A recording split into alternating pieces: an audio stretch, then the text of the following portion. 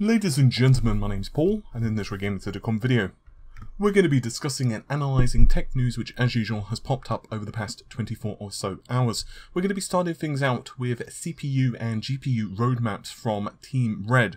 AMD have a plethora of different products to be released in 2018 and 2019. These include, but not limited to, a refreshed version of their current architecture, Vega, and various uh, CPUs and platform changes, including Pinnacle Ridge, which is based upon the Summit Ridge architecture, still AM4, but offers a performance uplift. And then we'll finish the video with the i7-8700K, specifically some benchmarks which have leaked onto the internet. I guess you could say it's the first review, and this is about 10 days or so before reviews are supposed to go live, so I have a feeling someone's going to be in a bit of trouble. But First things first, AMD. So this information comes to us from Informatica Zero, who then posted um, the information on their website and then also shared it with videocardz.com, which is where I found it. So they assure us, um, Informatico, of course, that this information is genuine. Uh, videocardz.com believe that this is genuine, at least according to what they've been hearing. Obviously, I can't speak to its validity, but it wouldn't surprise me if it's accurate, let's put it that way. So we'll start out with 2017 first. It begins, of course, with the introduction of Summit Ridge, which is 16 Zen threads on socket AM4. On the APU side, it's a Bristol Ridge, which is uh, featuring the Excavator CPU and Polaris GPU. Now here's where things get interesting. The roadmap then switches in 2018 to Pinnacle Ridge.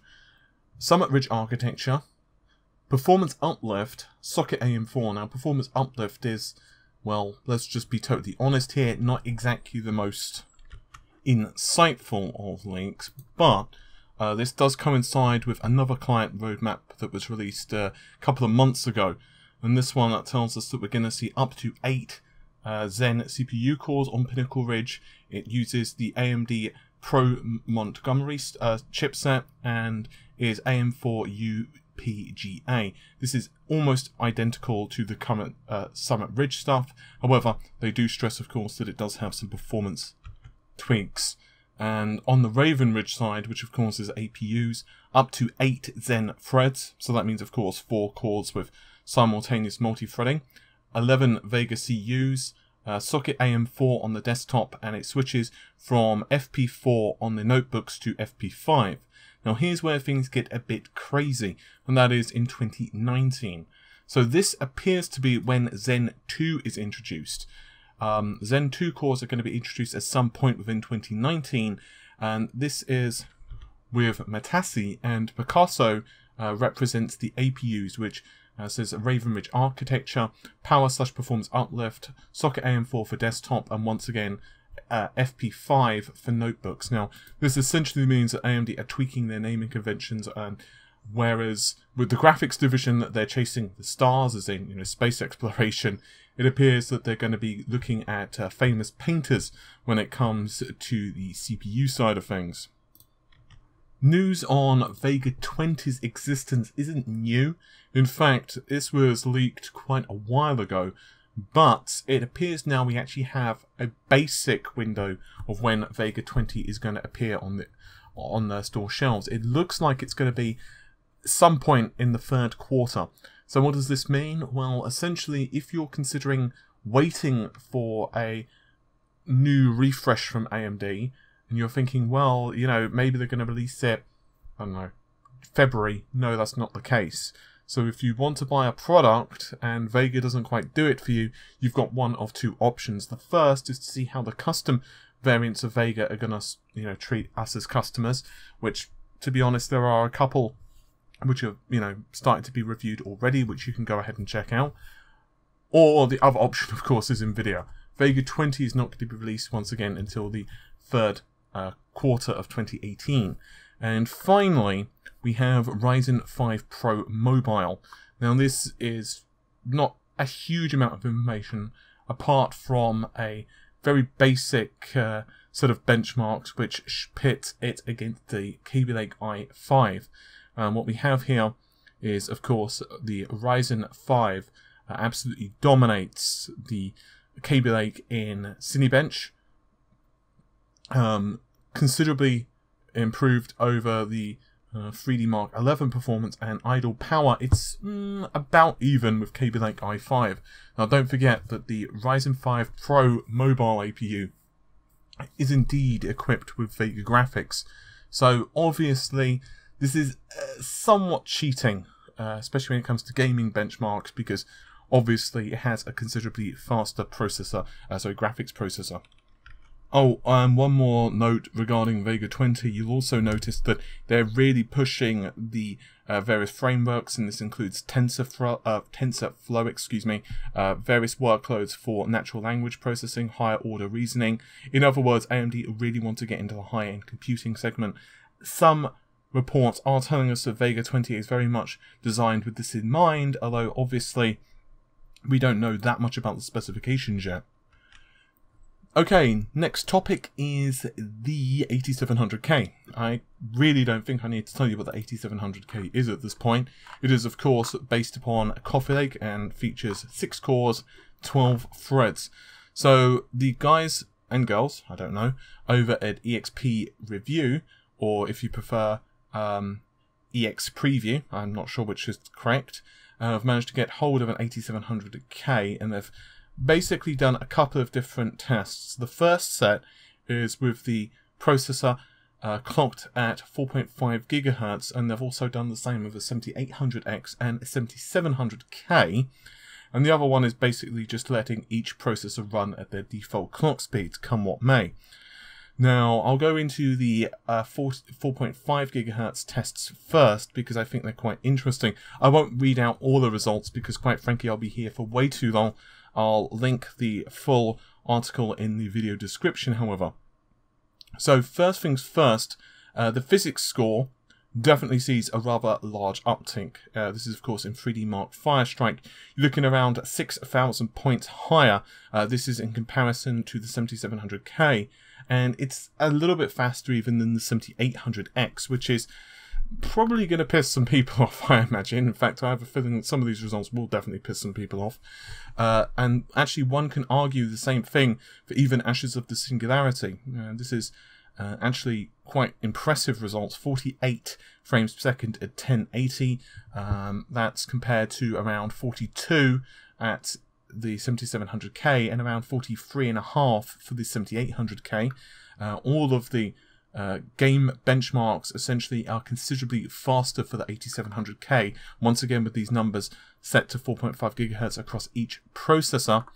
And one can also see that in terms of synthetic results, it's very much identical. The 7-zip, for example, absolutely dominates the 7700K. You're looking at a score of around 10,000 points higher. Um, uh, also, we can see that yes, it does essentially keep up with uh, the 7800X. So it's actually somewhat possible that the 8700K might make some of the um, the X299 lower core processors almost redundant, especially if it overclocks pretty damn well. Corona 1.3, you're looking at a, mm, I'm going to say 100,000 points improvement. This is raised per second, by the way. And yes, it does ever so slightly, once again, pit the uh, pip rather the uh, 7800X to the post. Cinebench, our friend and buddy.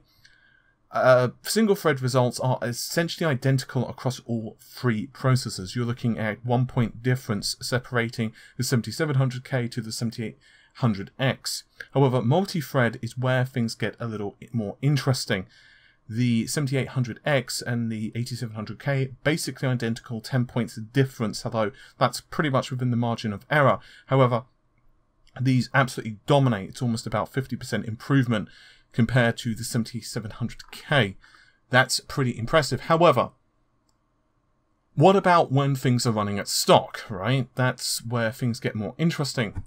Now physics score. Are you looking around 15 oh, sorry, a 5,000 points uh, improvement. And yes, it does absolutely wreck the 7800X. You're looking at around 2,000 points. Yes, I'm rounding things up, but let's just be honest. You kind of get where I'm going with this. 48 frames a second, once again, on the CPU-focused Ashes of the Singularity test. Um, that's very impressive. It's a 6 frames per second higher than the 7700K, or to put it another way, around 7 frames higher than the 7800. And once again, we'll quickly uh, mosey on down to Cinebench. So Cinebench, here things where things get a little stickier.